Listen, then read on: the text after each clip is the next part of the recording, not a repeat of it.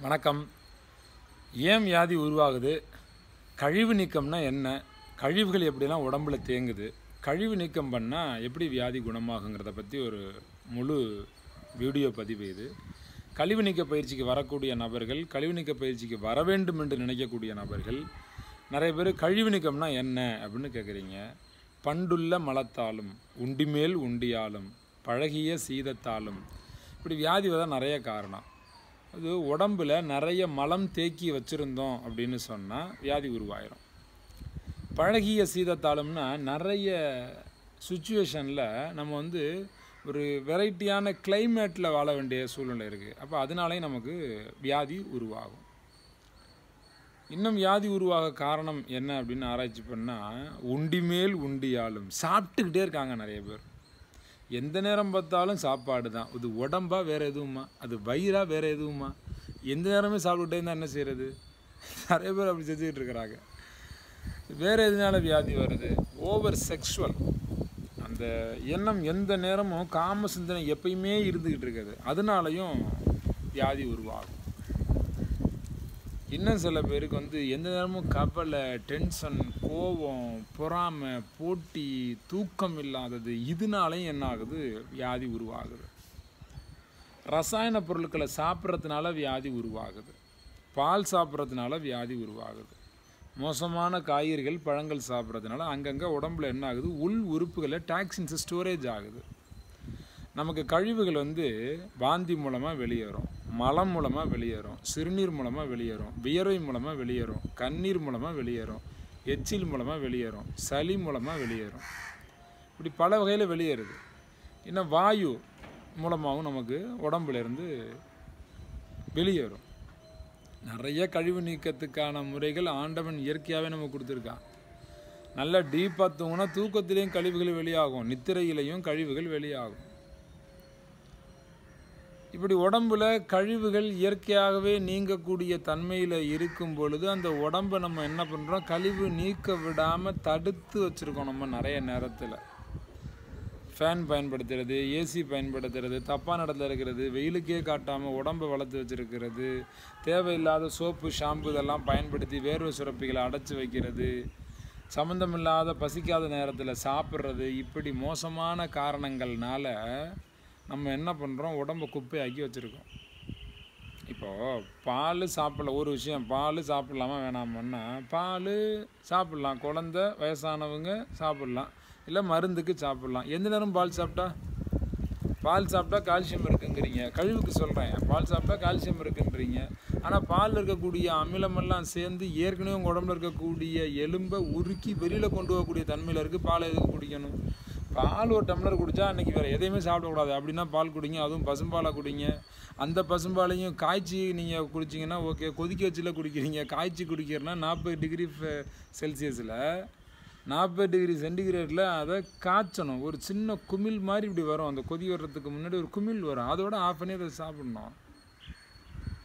தப்பு தப்பாக நம்ம சாப்பிட்றோம்ல. பால்னாவே தண்ணியாக தான் இருக்கும். திக்காக இருக்கணுங்கிறீங்க. அப்போ எப்படி பாருங்கள் அது ஒரு பாலுங்கிற விஷயத்தில் எவ்வளோ கழிவு நமக்கு உடம்புல சேருது? இப்போ இதே மாதிரி தான் நம்ம நிறைய பொருட்களை சாப்பிட்டு சாப்பிட்டு சாப்பிட்டு கழுவி தேக்கி வச்சுருக்கிறோம். தைராய்டு வந்துருச்சு சர்க்கரை வந்துச்சு பிபி வந்துச்சு காதில் சீல் வெடியுது கண்ணு கோளாறு கண்ணு தெரியலை முதுகு தண்டில் கோளாறு உருவாகிருச்சு மூட்டு வலி சரவாங்கி தலைமுடி கொட்டுறது கற்பப்பை கோளாறு குழந்தையின்மை ஆண்மை குறைவு பிசிஓடி ப்ராப்ளம் மாதவிடாய் அதிகமாக போகுது சில பேருக்கு போகவே இல்லை ஒபிசிட்டி அங்கங்கே சதபலம் தொங்குது பின்புற சதை அதிகமாகிருச்சு கையை நீட்டினா வலி நேராக யாராவது தூங்கிக்கிட்டு இருக்கும் பொழுது எழுப்பி விட்டோம் அப்படின்னா கடும் கோபம் வருது சில பேருக்கு.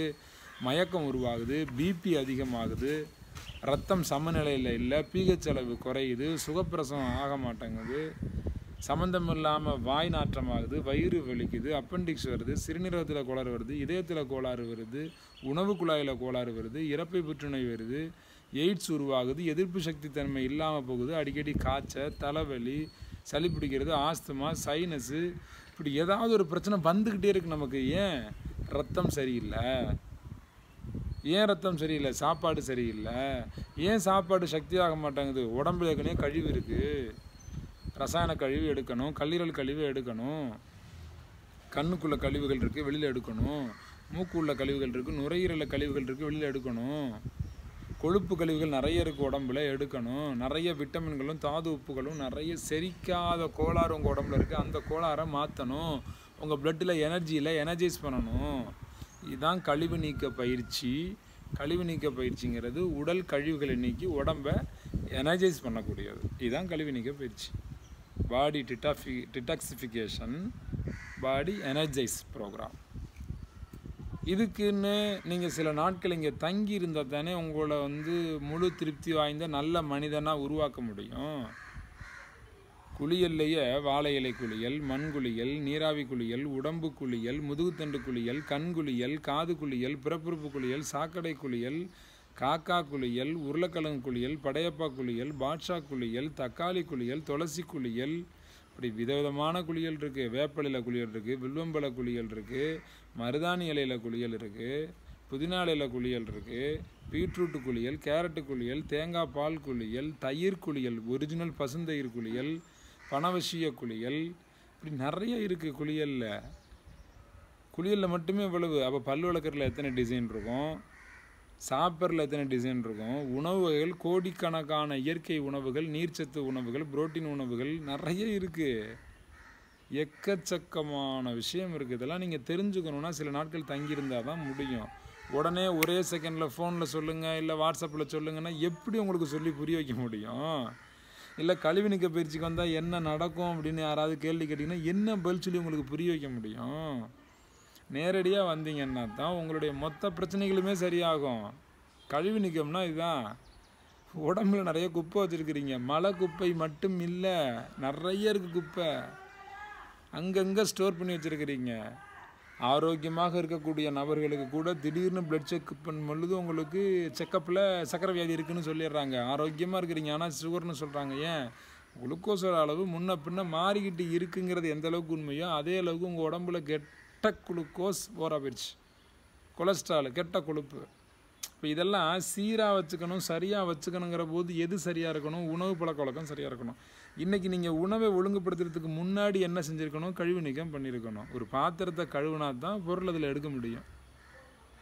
பாத்திரத்தை கழுவாமல் பொருள் எடுக்க முடியாது. அப்போ உங்கள் பாடியில் இருக்கக்கூடிய எல்லா நீர் சத்துக்களும் நல்லா இருக்கணும். அத்தனை செல்கள் நல்லா இருக்கணும். ரத்தம் நல்லா இருக்கணும். கண்ணு காது மூக்கு வாயு உள் உறுப்புகள் இன்னர் ஆர்கன்ஸ் எல்லாம் நல்லா இருக்கணும்னா கழிவு நீக்கம் பண்ணணும். உடம்பை கழுவணும் உடம்பை எனர்ஜி பண்ணணும். அவ்வளோதான் இதெல்லாம் உணவுகள் மூலமாக முடியும். நீங்கள் நிறைய மாத்திரை எடுத்திருக்கலாம் மருந்து எடுத்திருக்கலாம் எங்கே வேணாலும் வைத்தியத்துக்கு போயிருக்கலாம் ஆப்ரேஷன் நடந்திருக்கலாம். என்ன வேணாலும் எக்ஸ் ஒய் இசட் எதை வேணாலும் நீங்கள் செஞ்சுருக்கலாம். நீங்கள் எடுத்துக்கொண்ட மருந்து வகைகள் எல்லாமே உங்கள் வியாதியை கொஞ்சம் கட்டுப்படுத்தி வைக்கிறதுக்கு மட்டும்தான் பயன்பட்டுருக்கும். வியாதியை குணப்படுத்தவே முடியாது. வியாதியை குணப்படுத்தியிருக்க முடியாது உங்களால். வியாதி குணமாகணும்னா அடிப்படை மாற்றம் உடல் மாற்றம் உணவு மாற்றம் உணர்வு மாற்றம் செஞ்சே ஆகணும் நீங்கள் இப்போது எண்ணெய் குளியல் ஒருத்தர் செய்கிறாரு எண்ணெய் குளியல் நல்லெண்ணெய் தேய்ச்சி குளிச்சுட்டு அன்னைக்கு உடல் உறவில் ஈடுபட்டாருன்னா அவருக்கு என்ன ஆகும் வியாதி வந்துடும் இப்போ இது போல் சின்ன சின்ன நுணுக்கமான விஷயங்கள் தெரிஞ்சதே தப்பு செய்யாமல் இருப்பீங்க. எது செய்யணும் எது செய்யக்கூடாது தெரியணும்ல உங்களுக்கு. எங்கே போய் கற்றுக்குவீங்க எத்தனையோ சயின்ஸ் படிச்சிங்கல்ல? பாடி சயின்ஸ் படித்தோமா மைண்டு சயின்ஸ் நமக்கு யாராவது சொல்லி கொடுத்தாங்களா? இல்லை. அதை கற்றுக்கிறது தான் நீங்கள் நேரடியாக வரணும். யோகா பயிற்சிகள் தனியாக இருக்குது கழிவு நீக்க பயிற்சி ஃபுட்டு பயிற்சி தனியாக இருக்குது இப்படி நிறைய இருக்குது உங்களுக்கு என்ன தேவை? சொல்லுங்கள் உங்களுக்கான பயிற்சி கொடுப்போம். மிக பிரமாதமாகுங்க. பிராணசக்தி பயிற்சி இருக்குது இன்னும் நினைவாற்றல் பயிற்சி வியாதியை விரட்டலாம் வாங்க நமக்கு நாமே டாக்டர் நிகழ்ச்சி இந்த நிகழ்ச்சி இப்போ நமக்கு நாமே டாக்டர் நிகழ்ச்சி வியாதியை விரட்டலாங்க நிகழ்ச்சியெல்லாம் ஒரு மூணு மணி நேரம் அஞ்சு மணி நேரம் விழிப்புணர்வு நிகழ்ச்சி நடத்தணும்னா உங்கள் ஊருக்கு கூப்பிடுங்க இலவசமாக வந்து அந்த நிகழ்ச்சி நடத்துவோம். Indonesia Ilankai India Malaysia Singapore Dubai Qatar இந்த நாடுகளில் எல்லாம் கழிவு நீக்க பயிற்சி camp detoxification camp detox camp நடக்குது. என்னுடைய கேம்பு தென்றலோட கேம்பு தென்றல் இன்டர்நேஷ்னல் ஃபவுண்டேஷன் சார்பாக நிகழ்ச்சி நடக்குது வந்து கலந்துக்குங்க. சில நாட்கள் வரணும் தங்கணும் அதுக்குன்னு சில செலவுகள் இருக்குது அந்த செலவை நீங்கள் தான் செய்யணும். உங்களுக்கான செலவை நீங்கள் செஞ்சுக்கணும். என்ன செலவாகுதுன்னு கேளுங்க. கீழே டிஸ்கிரிப்ஷன் பாக்ஸில் தகவல் இருக்குது பாருங்கள் எந்த நாட்டில் எப்போ நிகழ்ச்சி நடக்குதுங்கிறத கேட்டு நேரடியாக வந்து கலந்துக்கங்க. மிக தூய்மையான அன்பான மனிதராக மாறுங்க. கொஞ்சம் இயற்கைக்கு வாங்க. அவ்வளோதானே எல்லாமே சொல்லி கொடுத்து தெளிவுபடுத்தி உங்களை மிக தூய்மையான மிக ஆரோக்கியமான மிக எனர்ஜைஸ் பர்சனாக மாற்றக்கூடிய நிகழ்ச்சிக்கு பேர் தான் கழிவு நீக்க பயிற்சி பாடி எனர்ஜைஸ் பயிற்சி. இங்கே மருந்தோ மாத்திரைகளோ அல்லது சிகிச்சை முறைகள் வைத்திய முறைகள் இது போல் உங்களுக்கு மாத்திரைகள் கொடுத்தெல்லாம் எதுவுமே செய்யப்படுறது கிடையாது. எல்லாமே வாழ்வியல் முறை. ஆமாம் உங்களுக்கு வியாதி ஏன் வந்துச்சு? உடம்புக்குள்ளேருந்து ஏதோ ஒரு தப்பு நீங்கள் செஞ்சதுனால உடம்புக்குள்ளேருந்து வியாதி வந்துச்சு. அப்போ அதை உடம்புக்குள்ளே இருந்து தானே குணப்படுத்தணும். வெளியிலேருந்து ஏதோ ஒரு மாத்திரை போட்டு எப்படி குணப்படுத்த முடியும்? அப்போ உடம்பை சரி பண்ணால் தானே வியாதி சரியாகும். புரிஞ்சுக்கணும்ல நீங்கள் அப்போ நம்ம உடம்பை சரி பண்ணுறோம் அதுக்கு ரத்தம் செல்கள் சதை தசைநார் எலும்பு மஞ்சை எலும்பு எல்லாத்தையும் சரி பண்ணுறோம் இன்னர் ஆர்கான்ஸில் இருக்கக்கூடிய ஒவ்வொரு செல்களும் தன்னைத்தானே புதுப்பித்து உடம்பே புதுசாகும். வாங்க சில நாட்கள் தங்குங்க. நல்லபடியாக இருங்க. என்ன வியாதியாக இருந்தாலும் சரி அத்தனை வியாதியும் குணமாகும். தொப்பைக்கெல்லாம் குட் பை தைராய்டெல்லாம் தெறிக்க விடலாம் சர்க்கரைக்கு சமாதி கட்டிடலாம். உங்களுக்கு என்ன பிரச்சனை இருக்குது கொழுப்படைச்சிருக்கா நோ ப்ராப்ளம் எல்லாம் கரைச்சிடலாம். குடல் வாழ்வு பிரச்சனையா? ஹெரண்யா பிரச்சனையா? அடிக்கடி வயிறு வலிக்குதா? வயிற்றுப்போக்கு அதிகம் அடிக்கடி போகுதா? என்ன கோளாறு? அத்தனையும் சரி பண்ண முடியும். நேரடியாக வாங்க. டிஸ்கிரிப்ஷன் பாக்ஸில் தகவல் இருக்குது திரும்பவும் ஃபோன் மூலமாக என்ன தான் சொல்லி கொடுப்பீங்க? என்ன தான் சொல்லிக் கொடுப்பீங்க? இப்படியே கேட்காம உங்களுக்கு என்ன தான் தேவைங்கிறத சொல்லுங்கள் உங்களுக்கு என்ன தேவையோ அதை செஞ்சு உங்களை ஒரு மிக தூய்மையான மனிதராக மாற்றி மன விடுதலை ஆகணும்ல நீங்கள் அதுக்கப்புறம் வியாதியிலேருந்து விடுதலை ஆகணும்ல நீங்கள் உடல் வசீகரமாக அழகாக மாறணும்ல நீங்கள் நல்ல இன்பமயமான மனிதராக மாறணும்ல நீங்கள் கவலையே இல்லாமல் வாழணும்ல நீங்கள் ஆரோக்கியமாக இருக்கலாம். ஹண்ட்ரட் பர்சன்ட் கேரண்டி எல்லோரும் வாங்க. திருப்தியாக இருங்க. மற்ற டீட்டெயில்ஸ் எல்லாம் டிஸ்கிரிப்ஷன் பாக்ஸில் இருக்குது பாருங்கள் கீழே ஒரு முக்கோண சிம்பிள் இருக்கும். அதை ப்ரெஸ் பண்ணிங்கன்னா கீழே பார்க்க முடியும். நம்ம சேனலை சப்ஸ்கிரைப் பண்ணுங்கள் நிறைய பேருக்கு இந்த வீடியோவை ஷேர் பண்ணி வைங்க. எல்லோரும் பார்க்கட்டும். உலக மக்களே ஆரோக்கியமாக இருக்கட்டும் யாருக்காவது சர்வீஸ் பண்ணுற ஐடியா இருந்தால் வாங்க. நிறைய பேருக்கு மக்களுக்கு சொல்லிக் கொடுப்போம். இன்றைக்கி உங்கள் ஊர் நிகழ்ச்சிகள் one day program three hours ப்ரோக்ராம்லாம் கூப்பிடுங்க. மக்களுக்கு நல்ல நல்ல செய்திகளை விஷயங்களை சொல்லிக் கொடுப்போம். எனக்கு நீங்கள் எந்த விதமான பணமும் கொடுக்க வேண்டிய அவசியம் இல்லை. கூப்பிடுங்க. நான் வர்றேன். என்றும் உங்களுக்காக தென்றல் உடல் மனம் ஆத்ம நலனுக்காக தென்றல் எப்போதும் உங்களுக்கு நல்ல செய்திகளை வழங்கி கொண்டே இருப்பார்.